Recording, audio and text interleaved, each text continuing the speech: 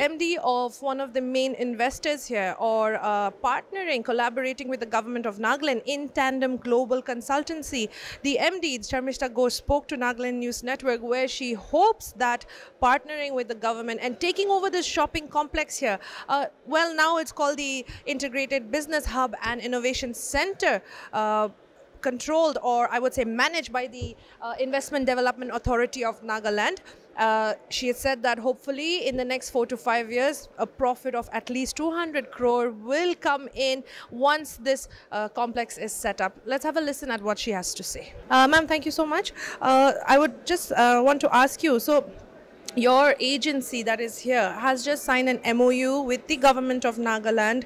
But then, uh, as mentioned earlier, we were just having a chat that we do not see the light of day of many projects over here and many funding projects. Niti Aayog was here and the vice chairman also. But then there's so many projects that has yet to see the light of day for a decade, you know, which has come. So, what makes you so, um, what do you call, confident about actually taking over this complex?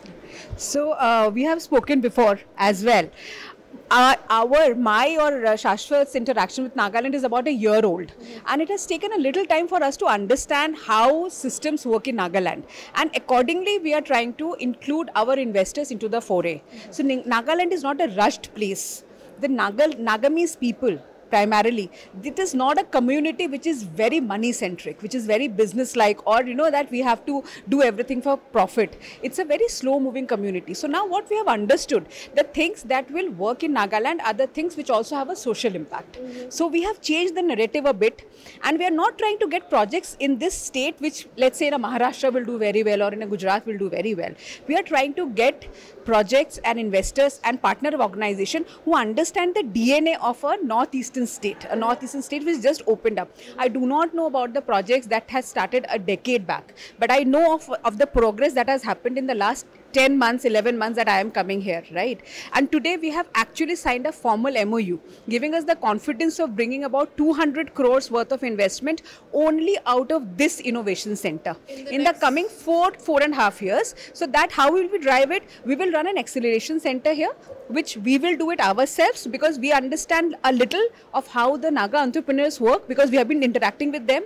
Then we will get partners and big institutions to come and do the training, facilitation and job creation in this facility itself something like a T-Hub, but at a much, much, much lower scale. So we'll make it an entrepreneurship, acceleration and innovation hub and will generate income out of it. So the primary thing being that we do not want to just do something which is a nice thing to listen or you know a nice thing you know something which is impactful actually in dollar terms is what see we are a for profit company so like a lot of eh, you know industry partners and ngos we need to earn. So we will inculcate the same in this organization, in this uh, space as well. We also plan to set up our own office here so that our intents are clear, that we are not just coming and going. We want to set it up and take it from there.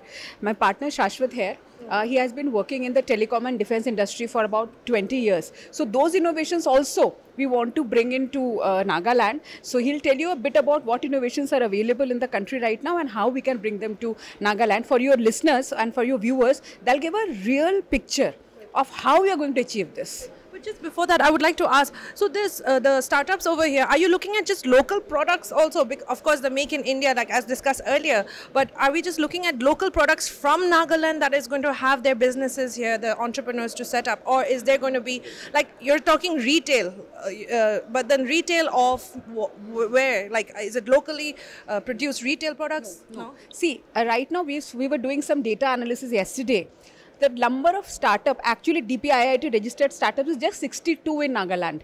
It's very less number of actual registered startups in Nagaland. Right. We have to take this number higher and higher in How the coming years. I think we should be we we are targeting amongst ourselves about 200 registrations in the first year right. So th that number of startups because otherwise what good are the policies if there are no takers for it? But to answer your questions no. We are also attracting businesses from outside to come and set shop here in nagaland and then do partnership work with the local naga uh, entrepreneurs. Both msme startups, see, we cannot just think of startups like the small state, right? We have to think of all kind of entrepreneurship, women entrepreneurship, for an example. So we'll put all of it together, and we will also get new innovations in terms of sectors that were not really thought of. Like we don't have manufacturing here, for an example. So I'm in talks with a couple of our partners who are into electronic manufacturing, light bulbs, etc. If there can be a facility wherein we can do those workshops, that so we don't need to set up huge factories for that. You know, we can create cottage industries out of that as well. The trainings can happen here and after that they can do it from their homes. Because district wise only two or three districts are active in terms of entrepreneurship in whole of nagaland. Because of connectivity issues because of internet issues other districts are not. So what we will try to do with, through this innovation hub is to take the work back to them where they are. So that is the purpose of this place. One place where everything can come diverge plan set up the base and then we reach nooks and corners of nagaland. This is how we want to achieve. Focusing on dimapur only right now? Entrepreneurs from Dimapur? I don't want to do that. I don't want to do that. I want to understand. So I want to study. See, this is my thought. I want to start with a report which will actually speak of entrepreneurship in entire of Nagaland. What are the districts that are not seeing any growth? What are the reasons? What are the reasons that we can change immediately? What are the long-term things? So that even the government is apprised that just don't keep on pushing initiatives, let's say from Niti Aayog, whatever, understand the problems of the people also. So where the gap actually is. But yes, immediately because Dimapur, Kohima, another one or two districts are active, we'll start from them. But my objective is to, I think the 16 districts in the state, I want to at least know 10 districts in the first year. I want to know them. What are their products? What are they good at? What is the distance? What are the challenges? Until unless I have that data, we cannot really make man- uh, tangible differences. So I want to do that as well. Uh, I'm not uh, sure if you're aware of the Unity Mall that the government is looking at. One district, one product for the Unity Mall. And will that be on the similar lines? I understand, yes, an integrated business hub, but uh, do we actually, are we really going to help the local entrepreneurs with this complex right here, considering that we are bringing people from outside. Now they might take over. You know, a lot of our business establishments in Dimapur, especially, they're all outsiders. You know, uh, Bangladeshis, or uh, they're all having businesses here. So is that going to be another issue? If you're going to bring now, people from now, outside, are they going to take over? See, this is one thing exactly which I just told. We need to understand the real problem on ground. If a Naga entrepreneur is scared that my agency will come under threat, if too many people from outside are coming, first and foremost, we have to mitigate that fear that that is something we will not let happen there has to be these very robust partnership models that okay fine you want to set up shop in nagaland? Do that. But if you want to use this facility it has to contribute to the economy of the local nagamese population as well. If you want to get these government aids and grants or whatever is in the policy you have to do a minimum commitment towards let's say i will employ 30% of all my manpower from naga from the local uh, nagaland uh, you know nagamese people or something of that so we are also parallelly working on the policies right. so yeah, we'll like as the yeah. your question and said yeah. that 12 people per startup could yes. be employed yes so let's say we come up with a policy for an example that the first couple of years, everybody who comes and sets up shop in, in this facility, out of 12 average per, average. needs to have six to seven people from from yeah local, recruitments you have to do to be uh, uh, to uh, qualify for the government SOP something of that kind we can put in the policy. It's a lot of work to be done but I think from my experience a lot has happened in the last 9 10 months in front of my eyes. So we want to keep the speed up. We want to keep the acceleration up. Think of new sectors like defense and telecom that he will just tell you a bit. So these are new sectors which are not yet there in the people of Nagaland and how we can include those sectors as well. Uh, just before I come to you, last question, a very basic question. So, what is going to uh, the rent going to be like? Is it how is someone going to acquire a space over here? Uh, is it going to be expensive? Is it going to be free, or is it going to be on what? What are the criteria? So, so there are few models we are trying to work on because you see this place is, place is also under development, so it will come eventually. But what we have proposed is like you'll have to do a mix. So something which is very innovative and everything for a period of uh, let's say a year or so, do a moratorium. Don't charge any any any rents yeah. for for one year's period. Just give it to them for free so that they establish the business and they get themselves accelerated. Once they start getting accelerated, then we can charge a nominal uh, rental for a while.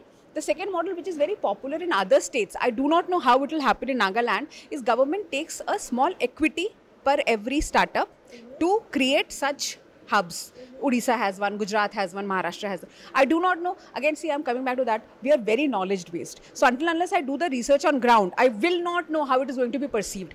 We will do a, a thorough report on this. We will publish the report. We'll invite you again so that you understand what is actually happening, what are our findings says, and we will plan instead of making big promises. We'll go step by step, find out what are the issues, try and plug in as many holes as we can, and take it from there. So, So, this uh, is. ITGC is going to take over this uh, complex. Yes. it's Yeah, with the confirmed now government, With yes. the government, With signing in has collab with the yes, government. yes. Okay. So to you, so can you just tell us what exactly it is uh, your role in this particular complex? So uh, I'm part of the Intandem team. So uh, what we are doing here is uh, I'll be helping them out with strategies and marketing strategy for every startup that is there uh, in every capacity that we can help.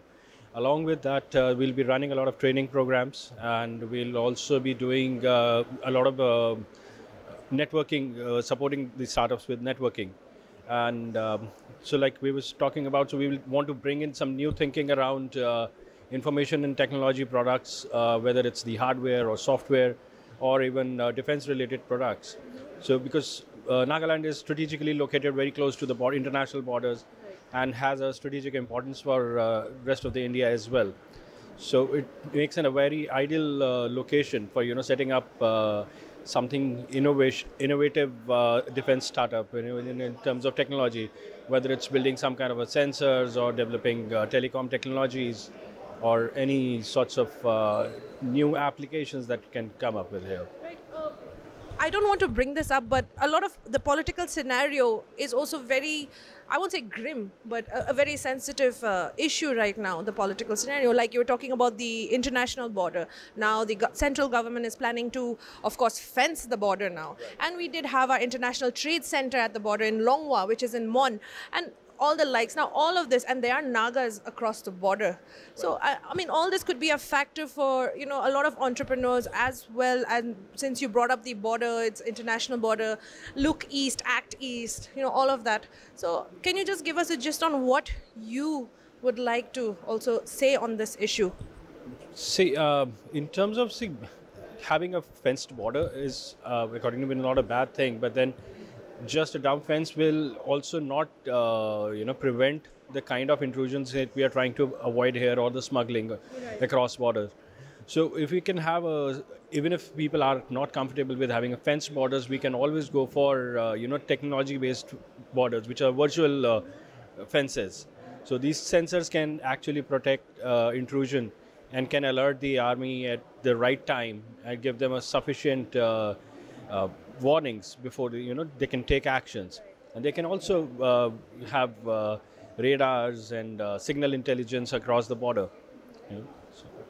So, lastly, so this complex now for you, what kind of products would you think will be uh, very good for the state of Nagaland? See, my uh, personally, my focus would be to bring in products here where uh, or develop products here which have uh, you know can generate uh, intellectual property, which will be a long-term wealth for the Naga people as well as the. So intellectual property would be say if you are coming up with a technology and you create that technology and patent it, right? That will that becomes your intellectual property, right? So that IPR is what can you know give you license fees, uh, royalties, and it's a long-term wealth. Uh, it's not just I create an app and I sell it. This will give you a long-term wealth that you can you know sell that technology further, and anybody and everybody who's using the technology will actually eventually be paying you a royalty through the life or the term of the contract. We have here Mandar, who is also from Dubai and one of the interested investors, I should say, who wants to tap in into the agriculture as well as the handicraft sector of Nagaland. Let's have a listen to what he feels would be good for uh, setting up any startups and helping entrepreneurs in this shopping complex. So, uh, what is your vision I mean, you've seen this complex. Uh, so, what is your vision right now, even if uh, to invest in Nagaland? So, I've been to T Hub, which uh, the Honorable Minister mentioned, uh, and uh, I've been to O Hub in Orissa, and this could be the N Hub or the Nagaland Hub for startups. This is the vision that the government carries.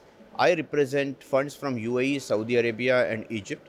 We have so far done investments of uh, more than 1.4 billion uh, US dollars across the globe.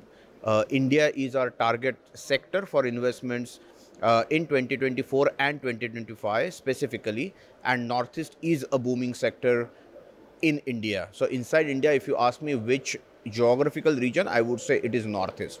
So we are already doing some work in Assam, some work in Meghalaya. Uh, this is my first visit to Nagaland. Uh, I came yesterday morning and I have done very good meetings here with the government officials and everything looks very enthusiastic and positive. Thank you.